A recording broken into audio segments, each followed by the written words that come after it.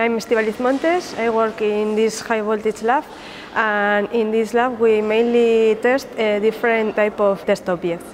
We used to work with, with switchgears, insulators, uh, uh, instrument transformers, distribution transformers and we used to perform uh, type and individual tests. In this lab we, we used to, to perform wet and dry power frequency test, lightning impulse test and we do this kind of test on different products. Uh, mainly we work with uh, instruments, transformers, switches and uh, switches and disconnectors, but we also work a lot with uh, other kind of uh, devices such as security products. I'm Ivan Fernandez from the High Voltage Lab. This is our complete shielded room.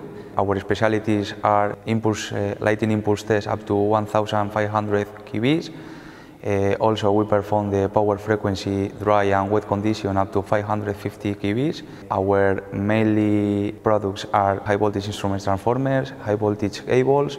Also, we perform insulators and switchgears. As for example, we have already tested here a complete cable system uh, type testing. And also, in the coming future, we are planning to install a new transformer up to 300 kVs. We have a lot of our uh, uh, type tests included in our accreditation and we also have worked hard in order to include uh, some of our products in different accreditation bodies recognition. We also try to, to do the things easier for our customers and we try to manage different type of tests inside Tecnalia. Our main customers are manufacturers and utilities coming from the national market and European market and also in the last years we have to remark the increasing number of manufacturers coming from the international market, especially Middle East.